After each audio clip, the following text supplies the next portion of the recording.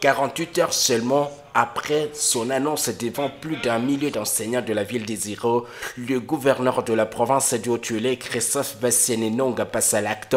30 motos sont remises ici par le ministre provincial de l'enseignement primaire, secondaire et technique, Françoise Ozarokani, représentant l'autorité provinciale.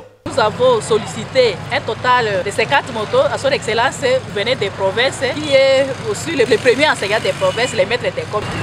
Voici la clé de la moto don du gouvernement provincial.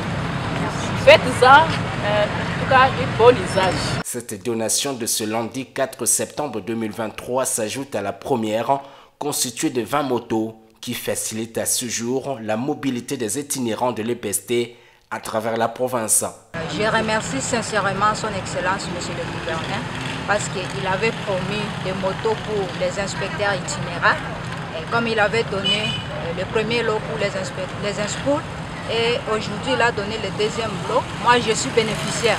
Parmi les inspecteurs, je suis bénéficiaire. Je lui remercie sincèrement. Je commence par remercier le président de la République Fachi, comme on l'appelle, Félix Tshisekedi. Fort très content pour ces, dons-là. La première province éducationnelle de Tuélé ayant été servie, le gouvernement provincial s'attelle à équiper la deuxième province éducationnelle afin de faciliter la mobilité de ses animateurs. À travers cette initiative, le gouverneur de province attend accompagner la vision du chef de l'État Félix Antoine Tshisekedi en matière d'éducation en vue d'assurer la formation de qualité à la jeunesse congolaise à venir du pays.